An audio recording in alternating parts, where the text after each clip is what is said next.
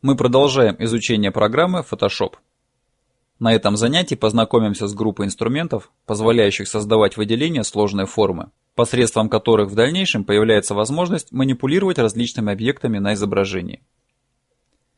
Воспользуюсь файлом с компакт-диска из папки «Примеры» под названием «Шар». У себя же этот файл открою со своего компьютера.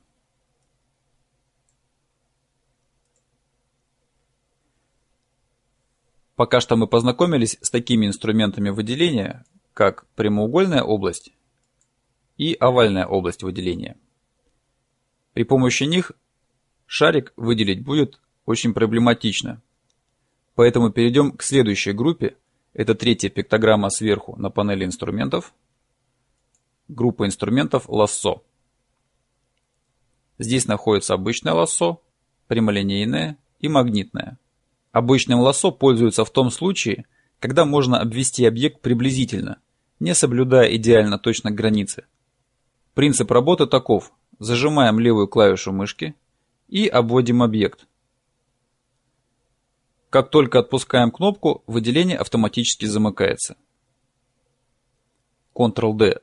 Снимаю выделение. Можно на этом документе добавить еще несколько шариков. При помощи лассо выделяем объект. Устанавливаем курсор в любую начальную точку и зажав левую клавишу мышки обводим шарик.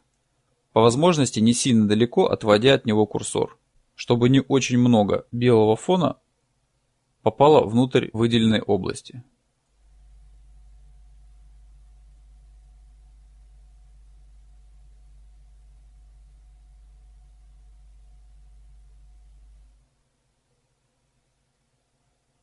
Выделение получается неровным из-за дрожания руки, но какое есть. Отпуская мышку, выделение замкнулось, готово. Теперь можно создать несколько копий этого шара и разместить по изображению. Самый удобный способ создать его копию – нажать сочетание клавиш Ctrl-J. Нажал, в палитре слоев тут же создался новый слой на базе сделанного выделения. Аналогичное действие по копированию можно совершить и из основного меню. Заходим в меню «Слой», «Новый». Вот, скопировать на новый слой. Здесь же подписано в качестве подсказки сочетание клавиш Ctrl-J. Пользоваться клавиатурой удобнее, поэтому я пользуюсь именно нажатием сочетания этих клавиш. Давайте поглядим, что у нас получилось. С фона можно временно снять видимость, и на прозрачном фоне хорошо заметны все огрехи выделения. Лишний белый фон и неровность краев. Но поскольку в исходной картинке сам по себе фон белый, то всего этого не будет видно. Вернем видимость нижнему слою. И инструментом перемещения сдвинем копию шарика временно вот сюда. Я переименую слой, чтобы было понятнее. Нажимаю два раза мышкой на название. Кстати, не всегда удается с первой попытки это сделать. Можно случайно нажать не на имени, а на синем поле. Тогда появится вот такое окно стилей. Это замечательный и мощный инструмент управления свойством слоя, но о нем немного позже. Так что если подобное окно появилось, то просто нажмите «Отмена». Наводим мышку точно на имя, нажимаем два раза левой клавишей и даем имя слою.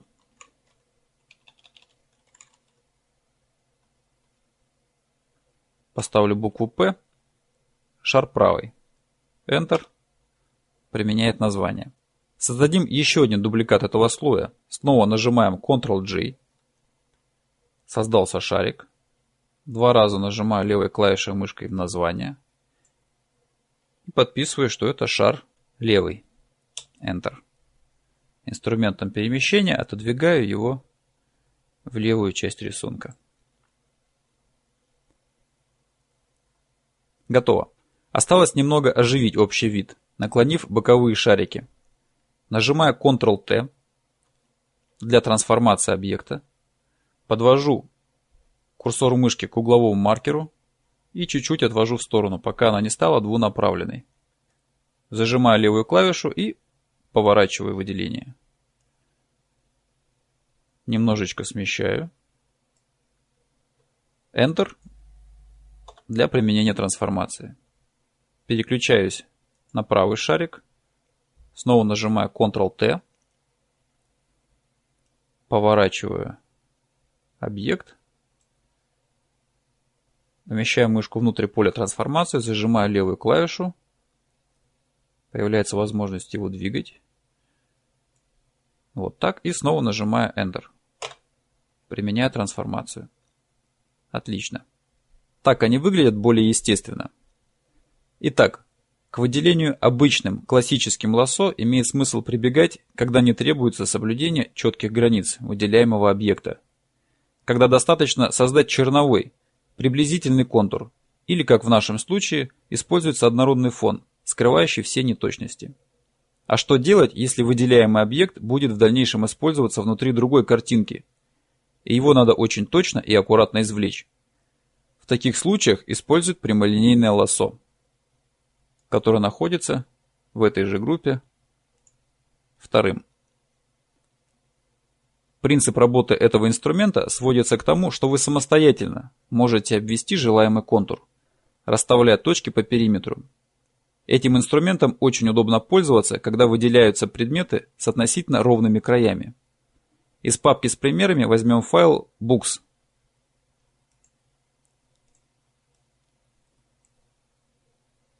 И при помощи полигонального лассо извлечем из фона книги. Начиная с нижнего края. Ставлю первую точку. Затем веду к верхней части книги.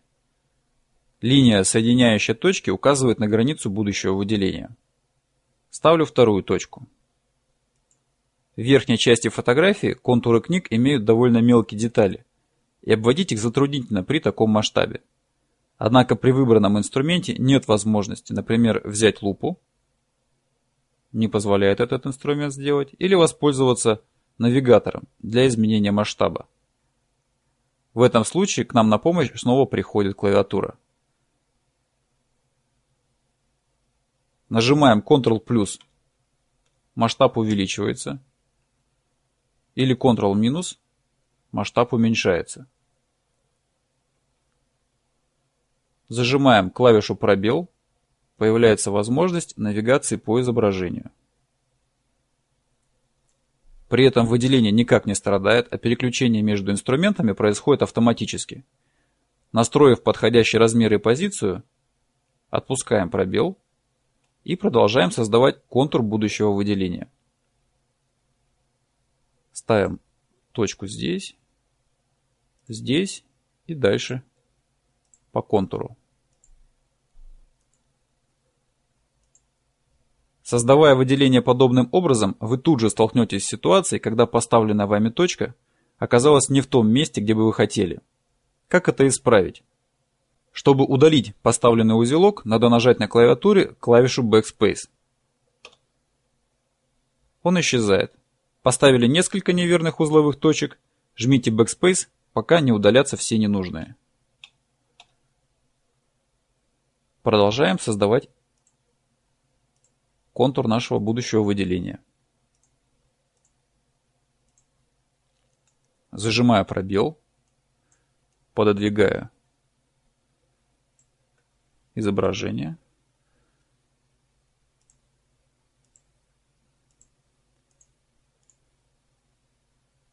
Здесь у книги слегка порван переплет. Приближу, чтобы точнее его обвести.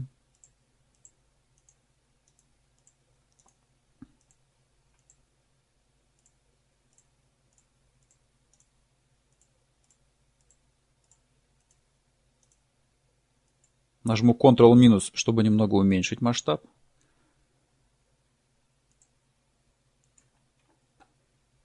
Продолжаю выделение.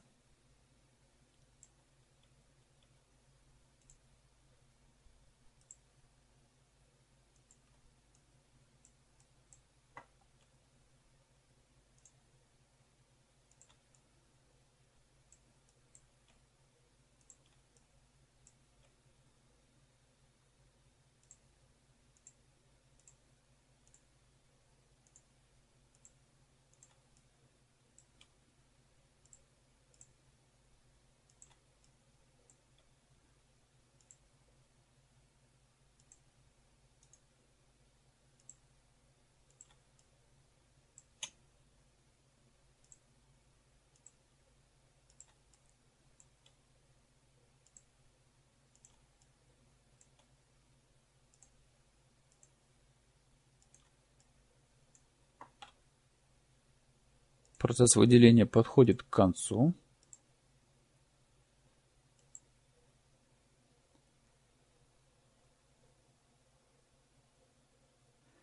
Как только по всему периметру расставлены узловые точки, и мы возвращаемся к первому поставленному узлу, выделение готово замкнуться. Вот здесь у меня стоял первый маркер. Рядом с курсором появился небольшой кругляшок, означающий, что выделение готово создаться. Однако бывает ситуация, например, как сейчас – что этот кругляшок рядом с курсором очень плохо видно, или вы не можете вообще найти исходную точку, где вы начали создавать свое выделение. В этом случае надо поставить мышку приблизительно в то место, где выделение у вас началось, не обязательно, чтобы оно совпало, и нажать два раза левой клавишей мышки. Оно автоматически сомкнется и создастся. Нажимая два раза левой клавишей мышки – Контур выделения создался. Ctrl- отодвигаю объект по масштабу. Готово. Сейчас из этой же папки с примерами открою файл shelf. Вот эта полка. Хочу выделенные книги поместить на эту полку. Переключаюсь к файлу с книгами, открепляю его от общего рабочего пространства.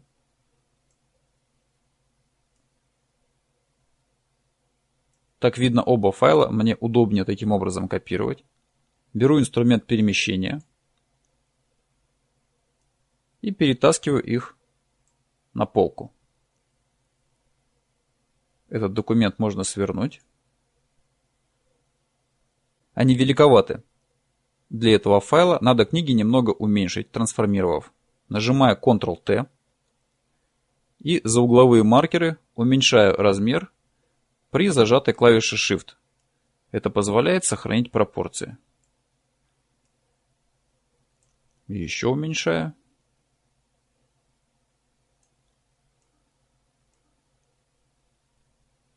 Поставим сначала на нижнюю полку. Великоваты. Еще немного уменьшаю. Вот так меня вполне устроит. Нажимаю Enter для применения трансформации. Поставили на нижнюю полку, еще можно поставить на среднюю. В палитре слоев видно, что у нас есть помимо фона слой с книгами. Нажимаем Ctrl-J. Этот слой копируется и просто перетаскиваем книги на среднюю полку. Как здесь и стояли.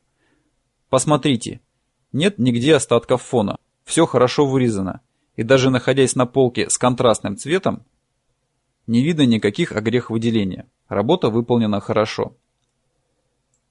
Подытожив скажу, что полигональным лосо пользуются очень часто, создавая выделение сложных форм. Немного практики и для вас не составит труда выделить отдельного человека из многолюдной толпы, один объект из множества на фотографии, обвести логотип или торговый знак. Мы с вами рассмотрели первые два инструмента в группе выделений лассо. Там остался еще один объект – магнитное лассо. Как оно работает и в каких случаях его удобно использовать, поговорим на следующем занятии. А на этом наш урок закончен. До свидания.